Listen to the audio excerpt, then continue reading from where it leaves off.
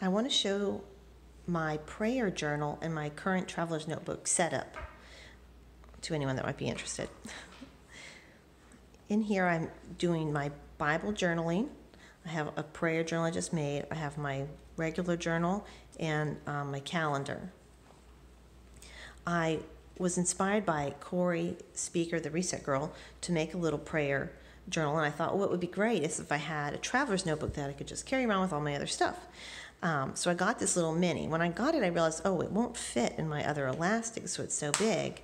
So I took a, an extra elastic I had, and I popped it through this hole, and um, and I use that to hold it, and it holds it pretty nicely.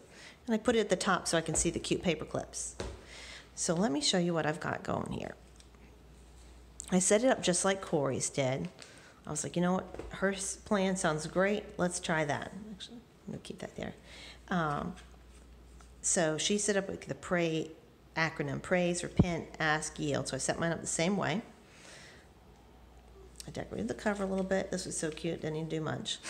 In my praise section, I used some scriptures. Wrote down some scriptures that I uh, say to the, say to the Lord when I start my my prayer time. Uh, more scripture, and I want to start writing attributes of God right here that I uncover in Scripture. So I'll use this post-it note to remind me. I left a, uh, some blank pages because I'm sure I'll want to add stuff later on. Here's the repent section um, with a prayer of repentance, one from church, one from the Psalms, and some things that I need to work on. Uh, and then the next section is ask. So in this section, I went ahead and um, put a picture of my husband and what I'm praying for him for.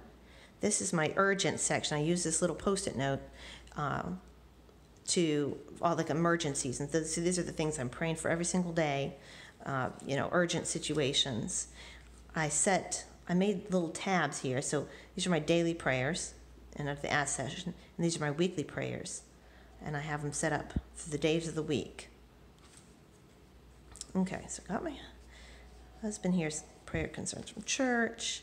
Here's all my friends and what I'm praying for them, praying for my parents and my church. I'm praying for my babies.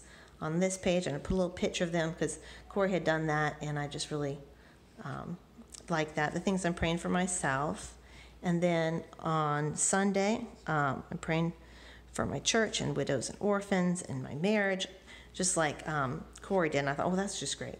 And then I'm praying on Monday for my husband and my dad's job, Tuesday for God's will to be done, for unbelievers. Again, this is just like Corey.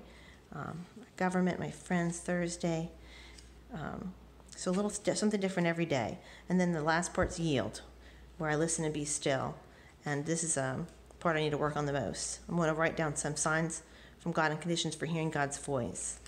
And in the very back, I'm starting to write down my answered prayers. Um, and here's some more Psalms of praise I can reference and some scripture that I can pray over different people uh, and, and notes.